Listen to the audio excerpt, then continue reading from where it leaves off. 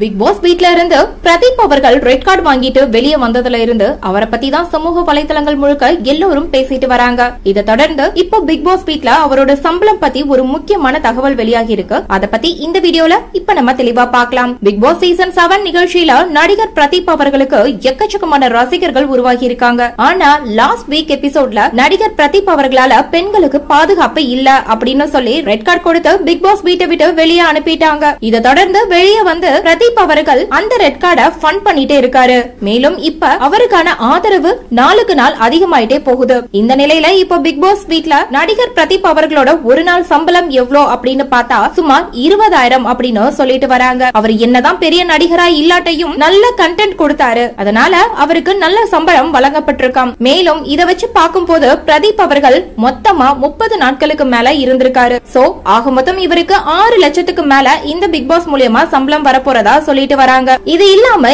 இன்னும் சில கான்ட்ராக்ட் சம்பளமும் இவருக்கு இருக்கு. சோ இந்த வீடியோவை பார்த்துட்டு இருக்க நீங்க நடிகர் பிரதீப் அவர்களோட பிக் பாஸ் சம்பளம் பத்தி நீங்க என்ன நினைக்கிறீங்க அப்படின்னு உங்களுடைய கருத்துக்களை கீழே உள்ள கமெண்ட் செக்ஷன்ல ஷேர் பண்ணுங்க. இந்த வீடியோ பிடிச்சிருந்தா லைக் பண்ணுங்க ஷேர் பண்ணுங்க. மேலும் இது போன்ற பல செய்திகளை தெரிஞ்சுக்க நம்ம சேனலை மறக்காம சப்ஸ்கிரைப் பண்ணுங்க.